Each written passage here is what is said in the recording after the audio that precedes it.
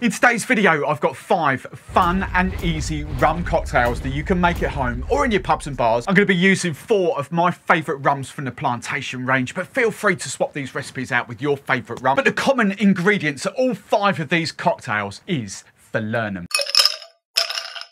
Welcome back, I'm Steve the Barman and I help you have more fun with easy cocktail recipes. Great for you if you're having a party at home, awesome if you're just a home enthusiast, and all shades of magicals if you're a pub and bar and looking to add simple cocktails to your menus. Now as always, this video is chaptered up, which means you can scrub straight to the cocktail recipe that you're looking for, or you can watch the whole video, which would be ace. There'll be a link in the show description below where you can find all the recipes, and also below the video are my new uh, ebooks and online courses. And if you do make any of my cocktails and use my recipes, take a picture, take a photo of the cocktail, upload it to Instagram, and then tag me at Steve the Barman and I'll share it for you. So then, Falernum. What the heck is Falernum? Well, essentially, it's kind of a, like a Caribbean alcoholic sugar syrup. Traditionally lime, sugar, and then Caribbean spices such as clove, nutmeg, almond, cinnamon, or ginger. In the UK, you can expect to pay anywhere between sort of 12 pounds and maybe 20 pounds.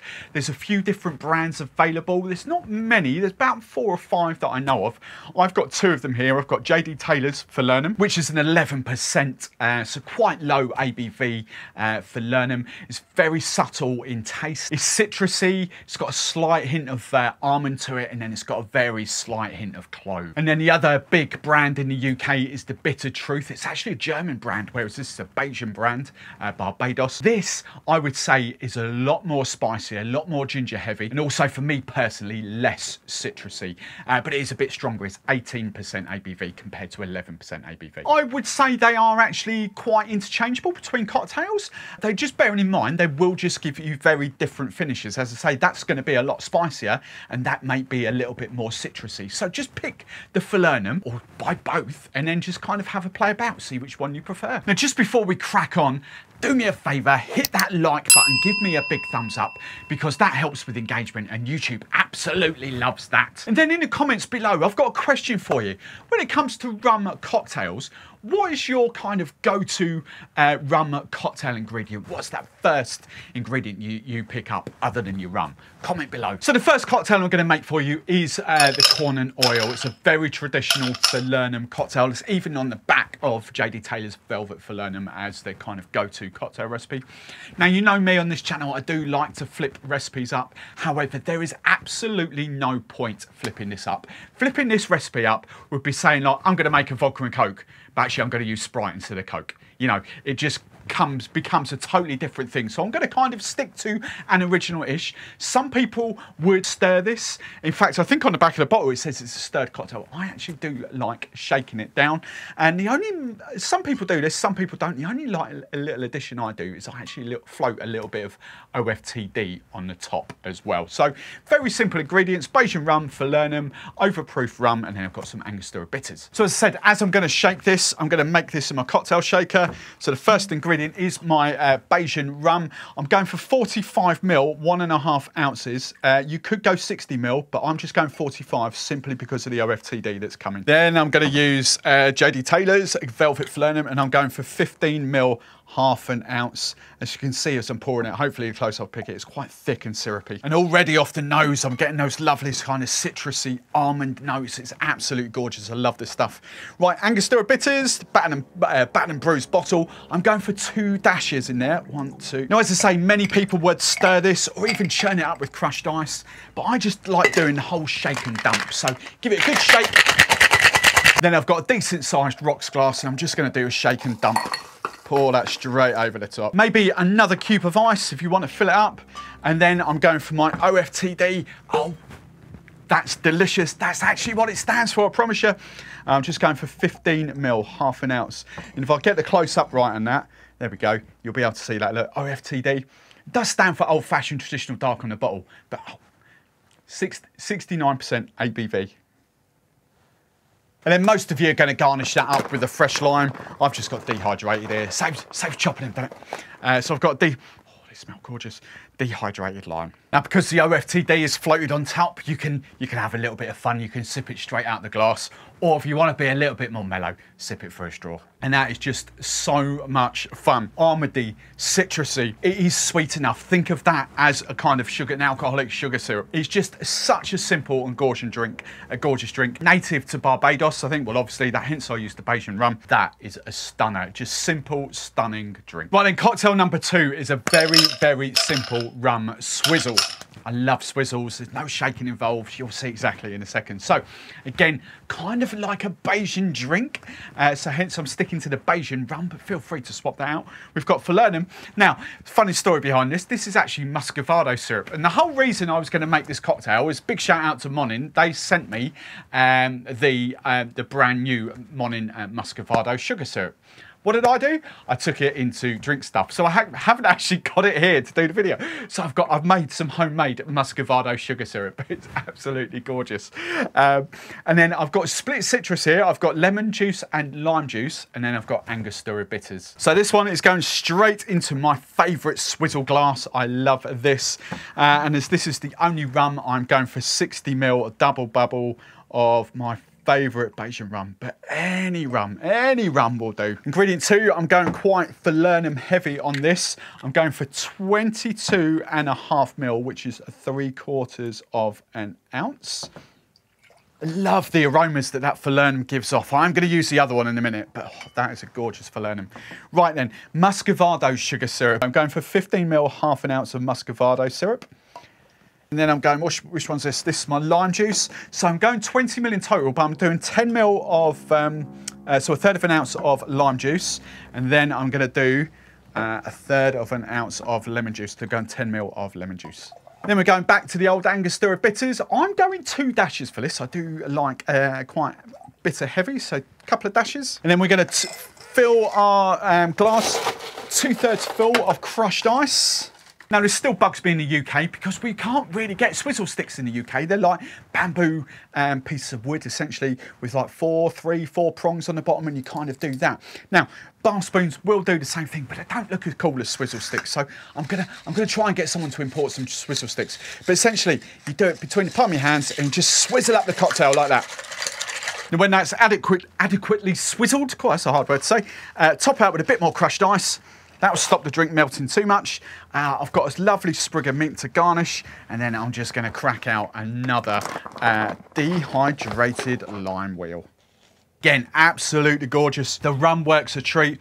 The falernum comes through. The falernum is prominent, but the muscovado really comes up behind it. This is just a, a stun. It's kind of like a rum punch, but it's a swizzle, just cracking. Now for your third cocktail, this is uh, my Mai Tai recipe. This is the Mai Tai recipe that I've used uh, for quite a few years now.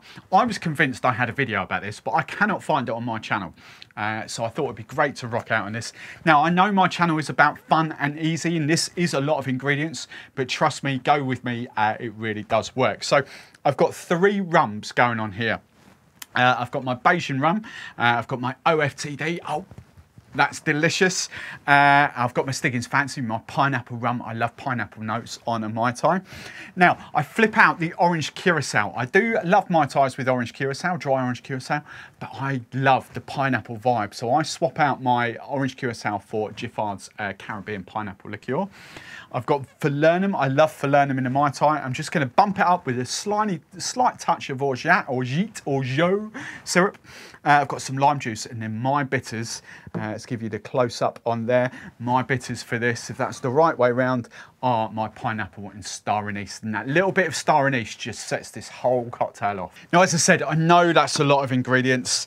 Um, it, look, if you want to go even basic, just use one rum. One rum instead of these three, but I love the kind of different effects that this gives us. So uh, I'm going to start off with my Bajan rum. I'm going 30 mil. Next, as we come down the line, we've got our overproof rum, kind of like a dark Demerara. Uh, I'm going for 10 mil, a third of an ounce.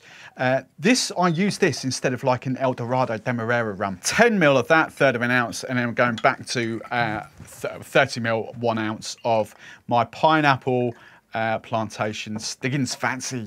And already the aromas of those are flipping phenomenal. But now we're just taking it up a level. Uh, 15 mil, half an ounce of this Caribbean pineapple liqueur.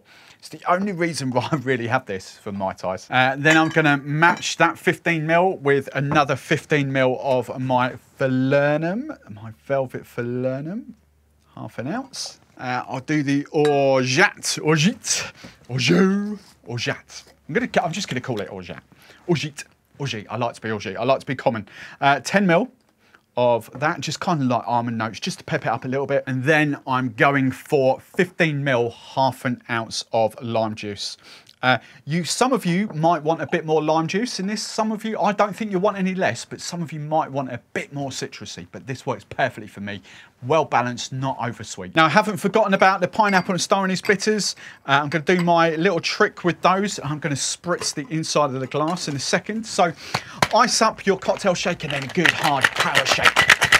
Then the glass I'm actually going to use for this is my kind of julep glass that's ready to go. So a little close up on that. I've got pineapple and star anise bitters. You get the pineapple notes, uh, but the star anise is what I really love about these. So you could use like a Pernod or an absinthe or something like that, but I love these bitters. So uh, I'm going to do about six spritzes and that'll be about one pipette of this. Already Already that aroma is gorgeous. Now you could do a shake and dump, you could use that ice, but I'm just gonna do a single strain. Then I'm just gonna top up with crushed ice. And then to garnish, I've got a couple of pineapple leaves out the freezer. And then I've just got a dehydrated pineapple. And that for me is gorgeous. Boozy, punchy, the falernum comes through. But I love the pineapple flip on the orange orange curacao. For me, that absolutely makes the Mai Tai. Mai Tai traditionalists are going to say, oh, it's not really a Mai Tai anymore. Fair enough, give it another name, but this is my go-to recipe and I flipping well love it. Right, cocktail four. This is my riff on uh, the Jungle Hunt. Uh, I've just had a just had another mouthful of corn. Oh, I love that. So, uh, the Jungle Hunt. Basically, I've swapped out um, the rum, so I'm going for pineapple, uh, plantation pineapple um, Stiggins Fancy. Jägermeister. Hoo, bit of Jaeger. Uh, we've put JD Taylor's Golden Falernum or Velvet Falernum to bed now. We've got the Golden Falernum, Bitter Truth, Golden Falernum coming out to play because uh, I want the next two uh, cocktails to be a little bit more spicier. Uh, I've got some cinnamon syrup. I've got 100% pressed uh, pineapple juice, just supermarket owned, but pressed pineapple juice. Got lemon juice this time, and I'm keeping with the pineapple and star anise bitters. Now, will this cocktail work with JD Taylor's Falernum? Yeah, of course it will. Of course it will. Me personally, I just want the extra sort of spicier notes that that one gives off, the ginger kicks. So uh, we're going 30 wheel, 30 wheels, 30 mil, one ounce of uh, plantation pineapple Stiggins Fancy. I'm going to match that 30 mil with another 30 mil mil of Jaeger. I've really come round to using Jaeger in cocktail style. Uh, go and check out my Jaegermeister video. That kind of blew me away. Love it. Then we come on to the Golden Falernum. Uh, so I'm going 15 mil, uh, half an ounce. And already, already you've kind of got, it's even got a slight orange notes to it as well but just much more sort of punchier in the spices. But anyway, 15 mil, half an ounce of golden falernum. Uh, then I'm going for some cinnamon syrup, uh, and I just want 10 mil of this, so a third of an ounce of cinnamon syrup. And then which juice is up first? We've got lemon juice, that, so we'll do that first. Uh, I'm going for 15 mil, uh, half an ounce of lemon juice. And then I'm going for 45 mil, one and a half ounces of pressed, 100% pressed uh, pineapple juice. Now your choice on the bitters again, i am going to keep the spritz cap on, so I'm going to spritz the inside of the glass instead. But if you've got to do that, uh, I'm going to do two dashes in the cocktail. So if you want to spritz, uh, if you want to do dashes, do two, or pipettes, do two pipettes. Anyway, daily workout, half shake. Now for this, I'm going for that tiki glass. And as I said, uh, two pipettes, which about, you know, it's going to be about eight or nine spritzes of these little spritz caps. So, uh, I just love the aromas that this gives off. Four, five, six, seven. There. One for like eight. And that'll be about two pipettes. Then you can strain this over fresh ice if you want. I'm just going to do a shake and dump just over the top and top up uh, with any more ice if you need to. And then to garnish, I've just got um, about three sprigs out my garden. My, my mint's getting a bit past its best before outside the garden, but about two or three large sprigs of mint. The Jägermeister plays amazingly well with the rum. I get the pineapple notes coming through. I get a little bit of cinnamon coming through, but then those spices from that golden falernum, the ginger, cloves I'm kind of getting. The aftertaste, really, really nice. Easy going. It's not over strong. You could pep it up with a bit more rum if you wanted to, but this is delicious. Right, and your fifth and final cocktail is my riff on the three dots and a dash. Uh, now again, it looks like a lot of ingredients. Uh, it's actually not too bad. If I've got two rums there, you can bring it down to one rum, but the two rums I've got a Plantation OD, um, original dark, essentially Bajan. I keep thinking it's Trinidadian, but Bajan and Jamaican blend there. Uh, I'm going straight for the Bajan uh, rum as well. I've got the Golden Falernum, a Bitter Truth's Golden Falernum. And just to give it a little bit more spice, I've got uh, Pimento Dram, okay, all allspice, uh, Bitter Truth's allspice uh, liqueur. Gorgeous, so it's going to give those clove and cinnamon notes even more. Honey syrup, uh, which one's that? L lime juice, uh, squeezed orange juice and then Angostura bitters. So cocktail shaker at the ready. Uh, first rum at the ready. I'm going for 30 ml of Plantation OD. I'm then going 30 ml of my out and out uh, Bajan rum for this. Lovely. Oh, 30, 35, maybe 40. Now for the golden falernum, I'm going to go 15 ml, half an ounce. We'll get all those sort of lovely kind of limey, almondy, ginger notes coming through. And then for the pimento allspice or allspice uh, dram, this bottle will last you ages because you really don't want that much of it. You know, I'm going for five ml. If we start putting 10 ml, 15 ml in cocktails, it's going to really overpower. So this is going to last you flipping ages. Um, what we're doing, five ml, it's a bar spoon. Uh, so look, my it's labelled a sixth of an ounce. so a little five ml bar spoon of uh, pimento dram. And then we're going for some honey syrup. So runny honey, uh, 15 ml, half an ounce of honey syrup. Uh, 15 ml, half an ounce of lemon juice. Sorry, I did actually mean uh, lime juice. That is lime. Look, just so just so you know the difference. Look, I don't know if you can see. I've got a little little black dot there on my lemon and no little dot on the lime. That's how I always tell. So lime juice. uh, and then I've got uh, some orange juice. Now, uh, three dots and dash is quite, you know, it's uh, not much. 15 mil normally of orange juice. I'm actually going to up this slightly. I'm going for 30 mil, one ounce of squeezed orange juice, complete with bits. And then final ingredient is the Angostura bitters. Bearing in mind we have got some the allspice going on, so we don't want too much. You can do, but I'm just going for a single dash. Now it's time for your daily workout, so plenty of ice and then good hard fast shake. And then to serve up, I always come back to this, my juice. I've got loads of other, you won't see them, but loads of other tiki mugs up there. I keep coming back to this one. It's called the Juice, I think, with a D, D-E-U, Juice. Um, anyway, just shake and dump. And then top up with more ice. I've just got some crushed ice left over, so I'm just going to use that. And then garnish, I'm going to do a dehydrated uh, orange and also uh, maraschino cherry because I haven't used them for a few videos. Lovely. Let's get a big juicy one. Juicy maraschino cherry, bit of juice to drizzle in. And then a decent, um, decent orange wheel as well. But as I say, any garnish for this, pineapple, mint leaves, whatever you got. And it's gorgeous, simple to drink, proper out and out tiki. The reason why I personally love it so much You've got the rums that come forward. I love the rums. But just coming up there, the honey. I love honey in cocktails. But the honey, with the, the honey really does balance the kind of ginger notes and the spice notes coming off the pimento as well. It's just this gorgeous kind of like well balanced there. I think the extra orange juice does make it as well. I don't like it too much with the less orange juice. I think it does need slightly more, but definitely no more than 30 mil. You don't want to go back in 60 mil, 100 mil of orange juice and that. That will just totally ruin it. Uh, so there we go. Let me know in the comments below which one is your favorite, which one are you going to make. Uh, as always, if you haven't done so already, big old thumbs up. That really helps me grow the channel. And also, as always, if you want to watch more of my content, just subscribe to the channel.